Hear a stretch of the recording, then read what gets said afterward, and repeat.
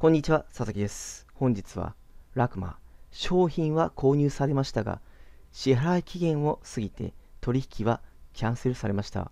この場合は取引と評価はどうなりますか？というテーマについてお伝えします。それでは、早速いってみましょう。はい。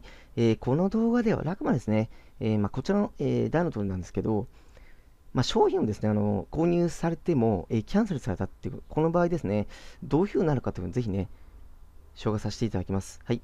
えー、とこの場合なんですが、ラクマの場合はですね、2日以内に取引を、えー、と終了ですね、えーキャンセルされますと、まあ、自動的にね、キャンセルされるんですけど、まず評価ですね、評価は、あの相手に対しての評価ですね、悪いでも、悪いでもいい、普通なんでもいいんですけど、まあ、悪い評価をつけて、えー、と取引をね、終了することができます。はい。で、あの、もう自動的にですね、あの、キャンセルされますと、あと自動的に、あの、その売ってた商品が、またですね、あの、取引に出ます。なので、そのままの商売っていうかね、出品することは可能になります。なので、その点はね、安心していただければね、いいかと思います。はい。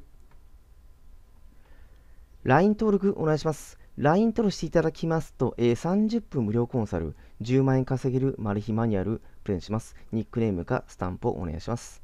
あと、YouTube から質問一切受け付けてません。LINE アット登録後によろしくお願いします。本日は最後見ていただきありがとうございます。